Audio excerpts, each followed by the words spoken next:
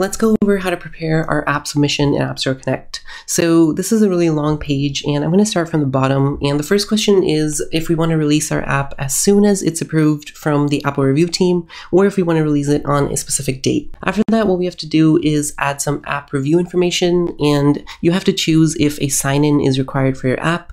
And you can also add some contact information and notes here for the Apple review team. For me, there's no sign required and I'm leaving everything else blank. After that, you have to upload your build. And this is basically the build that you archived in Xcode. And once you upload it, it's going to say missing compliance. And for that, you just have to choose if you're using any of these encryption algorithms in your app. After that, you're going to have to add some stuff if you're making a Apple Watch app, an iMessage app, or an app clip alongside your iOS main application. Once you're done with that, all we have is really simple stuff like our description, our screenshots, and some marketing and support information, which we're going to be covering in the next couple of reels.